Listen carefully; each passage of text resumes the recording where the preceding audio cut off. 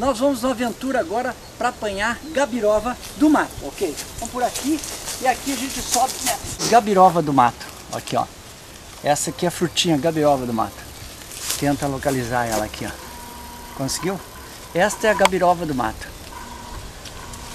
É muito deliciosa essa fruta aqui ó. Essa é a tal de gabirova do mato, ok? Cameraman, as aventuras do Borim, pô, mesmo a gabirova, tá ok?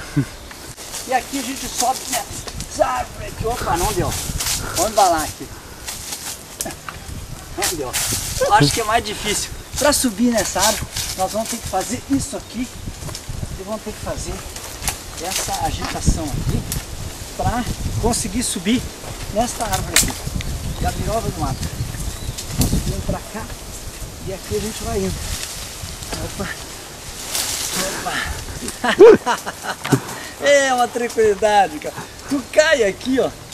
Interessante que se tu cair aqui dessa árvore, ó, é, tem que subir aqui. Mas se tu tiver aqui e saltar e cair. Oh, cara. ah, cara, agora eu fiquei trancado aqui, né? Fiquei trancado aqui. Fiquei trancado aqui.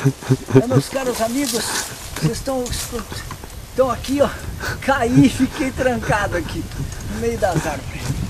Vamos tentar, tentar sair daqui. Já rasguei até a camisa. As aventuras do Borim continuam assim, nessa... Uh!